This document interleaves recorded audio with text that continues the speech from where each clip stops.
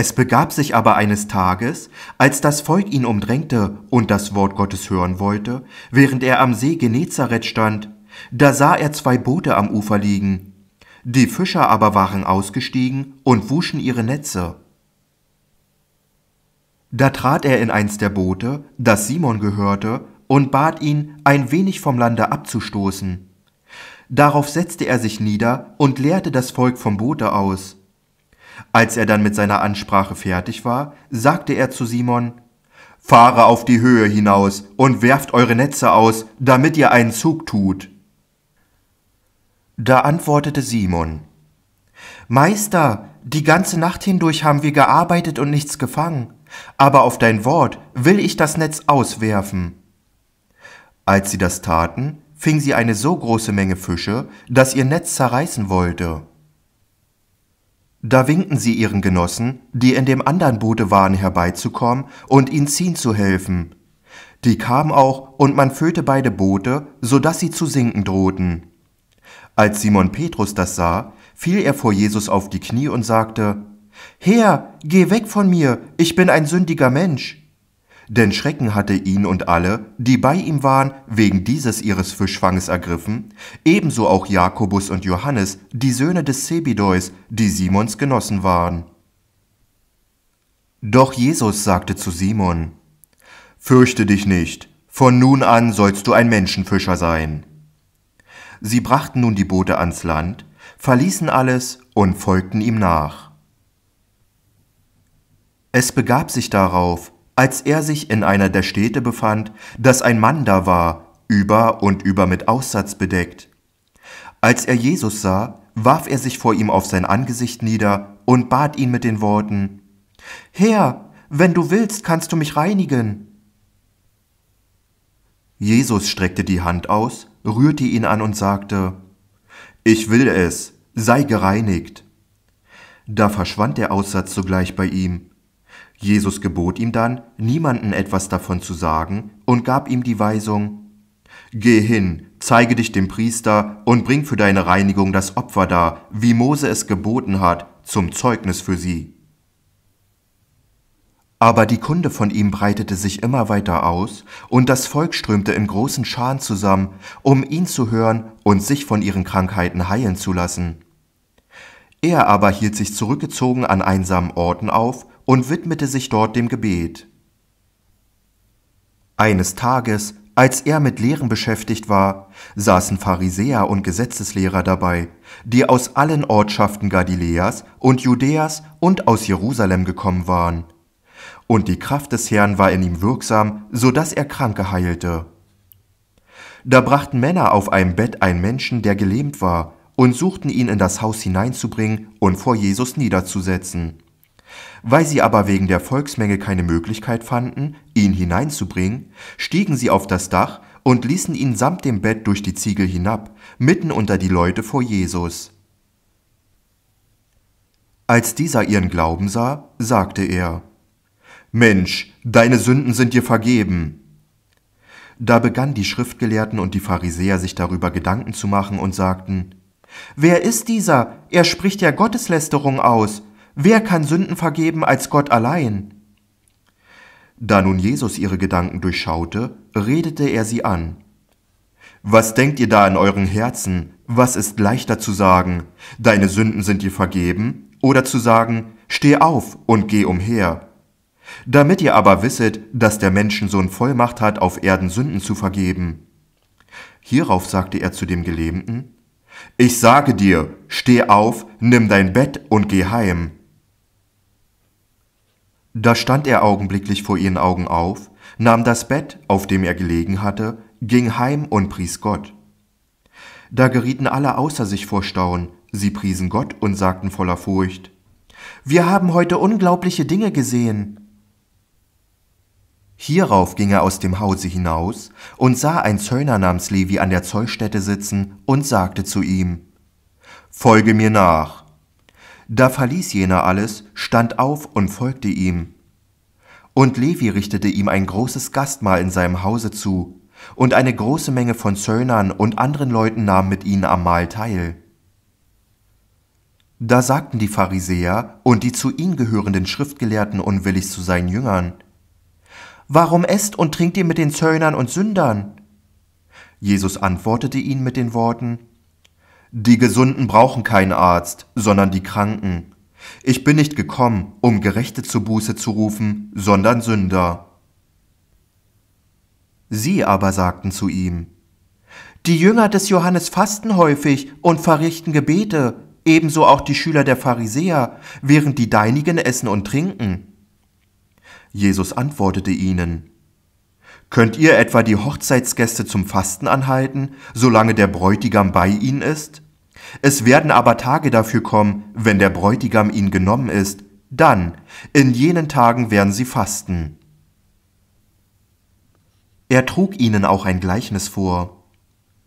Niemand schneidet einen Lappen von einem neuen Kleide ab und setzt ihn auf ein altes Kleid, sonst würde er nur das neue zerreißen, und zu dem alten Kleide würde der Lappen von dem neuen doch nicht passen.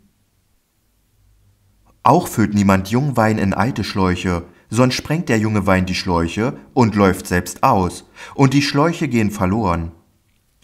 Vielmehr muss man Jungwein in neue Schläuche füllen. Und niemand, der alten Wein getrunken hat, mag alsbald jung gern, denn er sagt, der alte schmeckt angenehmer. Es begab sich dann an einem Sabbat, dass er durch Kornfelder wanderte, und seine Jünger pflückten Ähren ab, zerrieben sie mit den Händen und aßen die Körner. Da sagten einige von den Pharisäern, Warum tut ihr etwas, was man am Sabbat nicht tun darf? Jesus antwortete ihnen, Habt ihr auch davon nicht gelesen, was David tat, als ihn samt seinen Begleitern hungerte? Wie er da ins Gotteshaus ging, dort die Schaubrote nahm und aß, und auch seinen Begleitern davon gab, obgleich doch niemand außer den Priestern sie essen darf. Er schloss mit den Worten, Der Menschensohn ist her, auch über den Sabbat. An einem anderen Sabbat ging er in die Synagoge und lehrte. Dort war ein Mann, dessen rechter Arm gelähmt war. Da lauerten die Schriftgelehrten und die Pharisäer ihm auf, ob er wohl am Sabbat heilen würde, um dann einen Grund zu einer Anklage gegen ihn zu haben. Er kannte ihre Gedanken wohl, sagte aber zu dem Manne mit dem gelähmten Arm, Steh auf und tritt vor. Jener stand auf und trat hin. Da sagte Jesus zu ihnen, Ich frage euch, darf man am Sabbat Gutes tun oder soll man Böses tun? Darf man ein Leben erhalten oder soll man es zugrunde gehen lassen? Nachdem er sie dann alle ringsum zornig angeblickt hatte, sagte er zu ihm, Strecke deinen Arm aus. Jener tat es, und sein Arm wurde wieder gesund. Da wurden sie ganz unsinnig vor Wut und besprachen miteinander, was sie Jesus antun könnten. Es begab sich aber in diesen Tagen, dass er auf den Berg hinausging, um zu beten, und er verbrachte dort die ganze Nacht im Gebet zu Gott. Als es dann Tag geworden war, rief er seine Jünger zu sich und wählte zwölf von ihnen aus, die er auch Apostel, das heißt Sendboten nannte. Simon, den er auch Petrus, das heißt Fels oder Felsenmann nannte, und dessen Bruder Andreas, Jakobus und Johannes, Philippus und Bartholomäus, Matthäus und Thomas, Jakobus, den Sohn des Alpheus, und Simon mit dem Beinamen der Eiferer, Judas, den Sohn des Jakobus, und Judas Ischariot, der zum Verräter an ihm wurde. Als er dann mit ihnen von dem Berge hinabgestiegen war, blieb er auf einem Platze stehen, samt einer großen Schar seiner Jünger und einer zahlreichen Volksmenge aus dem ganzen jüdischen Lande, besonders aus Jerusalem und aus dem Küstenlande von Tyrus und Sidon. Alle diese Leute waren nämlich gekommen, um ihn zu hören und sich von ihren Krankheiten heilen zu lassen. Auch die von unreinen Geistern geplagten wurden gesund, und jeder aus der Volksmenge suchte ihn anzurühren, denn eine Kraft ging von ihm aus und heilte alle. Da hob er seine Augen auf, blickte seine Jünger an und sagte, Selig seid ihr Armen, denn euer Teil ist das Reich Gottes. Selig seid ihr, die ihr jetzt hungert, denn ihr sollt satt werden. Selig seid ihr, die ihr jetzt weint, denn ihr werdet lachen. Selig seid ihr, wenn euch die Menschen hassen und wenn sie euch aus ihrer Gemeinschaft ausstoßen und euch schmähen und euren Namen als ein Schimpfwort verwerfen, um des Menschensohnes willen. Freuet euch alsdann und jubelt, denn wisset, euer Lohn ist groß im Himmel. Ihre Väter haben es ja mit den Propheten ebenso gemacht. Dagegen wehe euch Reichen, denn ihr habt euren Trost dahin. Wehe euch, die ihr jetzt satt seid, denn ihr werdet Hunger leiden. Wehe euch, die ihr jetzt lacht, denn ihr werdet trauern und weinen. Wehe euch, wenn alle Welt euch umschmeichelt. Ihre Väter haben es ja mit den falschen Propheten ebenso gemacht. Aber zu euch, die ihr mir zuhört, sage ich, liebet eure Feinde, tut denen wohl, die euch hassen, segnet, die euch fluchen, betet für die, welche euch beschimpfen.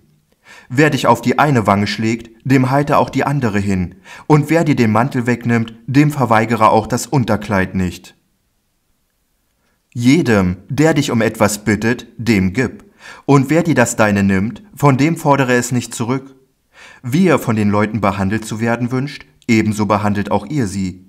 Denn wenn ihr die liebt, die euch lieben, welchen Anspruch auf Dank habt ihr dann? Auch die Sünder lieben ja die, welche ihnen Liebe erweisen.